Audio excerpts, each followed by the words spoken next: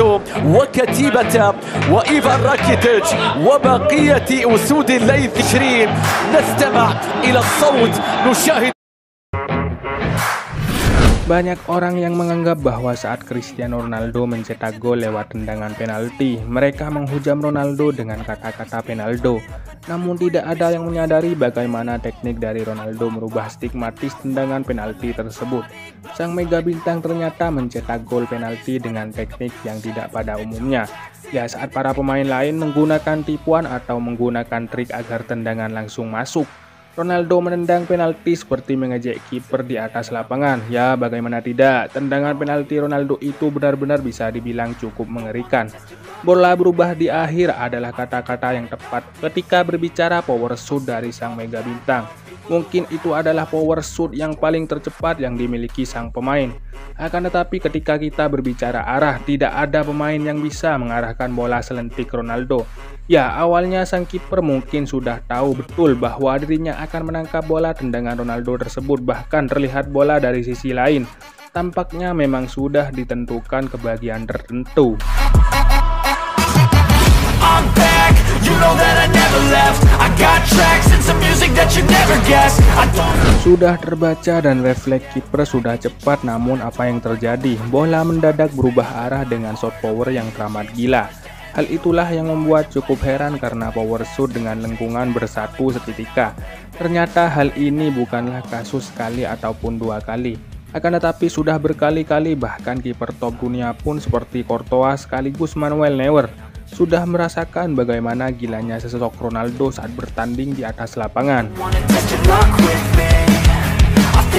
Ya, kedua kiper bintang top itu memang telah memberikan tanggapan yang cukup berbeda dengan apa yang sering dilontarkan oleh para fans yang menjadi hater bagi Ronaldo setiap Ronaldo mencetak gol dari titik putih. Baik Neuer ataupun Courtois memberikan fakta yang berbeda dari apa yang dibayangkan oleh para penggemar haters tersebut. Sebab dalam kategorinya itu Ronaldo memiliki tendangan yang lebih menakutkan dari apa yang dibayangkan oleh para penggemar.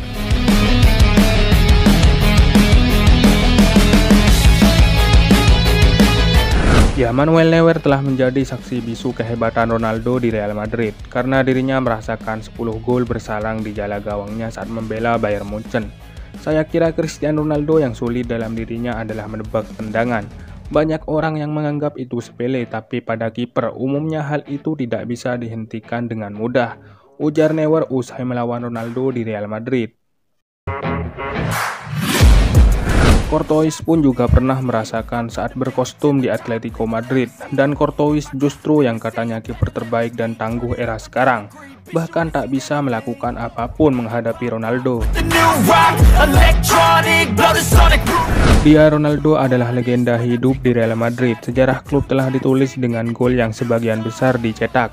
Saya menderita menghadapi Cristiano Ronaldo sebagai saingan dan dia pemain yang brilian tetapi di Real Madrid saya teringat ungkapan lama Santiago Bernabeu yang saya setujui yakni tidak ada pemain yang lebih penting daripada yang lainnya, ujar Courtois dikutip dari Gol.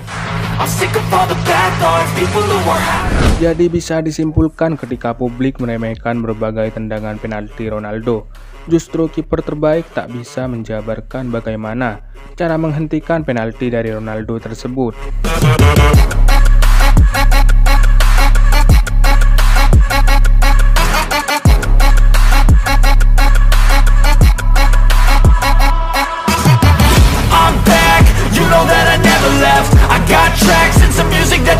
guess. I don't slack, don't lose, learn your lesson yet. When I get to choose what I do, I'm like a weapon I'm not sharp as many, but got hard, I'm ready to change. Scars to envy, to win. Large and plenty. I like to play fast.